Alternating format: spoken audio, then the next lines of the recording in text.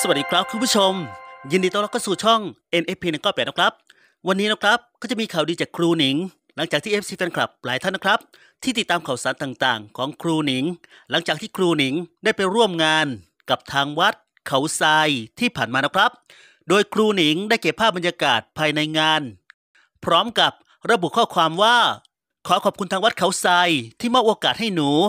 ได้ทำการแสดงนะคะ ขอบคุณพ่อแม่พี่น้อง ทุกคนทุกท่านที่มาให้กำลังใจ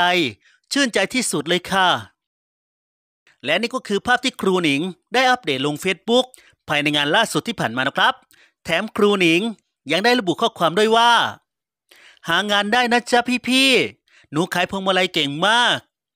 และงานนี้นะครับมีความประทับใจหลายอย่างเลยทีเดียวนะครับคุณผู้ชม เพราะหลายท่าน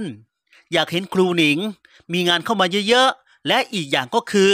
มี FC แฟนคลับของครูหนิงนะครับ ไม่ว่าจะเป็นรุ่นไหนก็ตาม ก็มาขอถ่ายรูปกับครูหนิง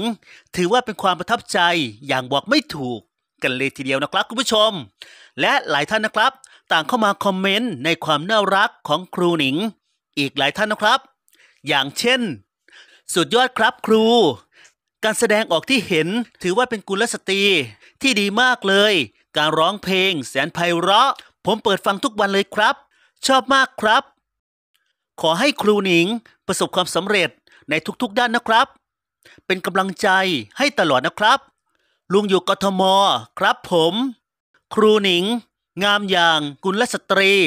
เสียงดีสมเป็นนักร้องลูกทุ่งแท้ ลุงคอยให้กำลังใจมาโดยตลอด ขอให้สมหวังทุกประการนะครับครู ครูหนิงเก่งอยู่นะ เสียงดีร้องเพลงเพราะ นิสัยเรียบร้อย และแต่งตัวดี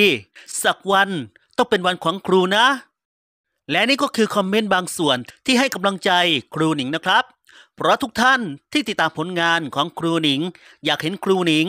มีคิวงานการแสดงเยอะๆ เพราะจะได้ฟังน้ำเสียงเพราะๆของครูหนิงนะครับ ต่อมานะครับคุณผู้ชม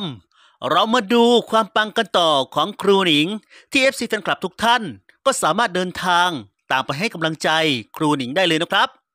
จากการอัปเดตล่าสุดบน Facebook ของครูหนิงที่ผ่านมานะครับ ได้แจ้งคิวงาน การแสดงล่าสุดไว้แล้ว ในวันที่ 15 พฤศจิกายน ในงานรอยกระทง วัดท่าช้าง ตำบล เนินมะกอกอำเภอ บางมูลนาค จังหวัดพิจิตร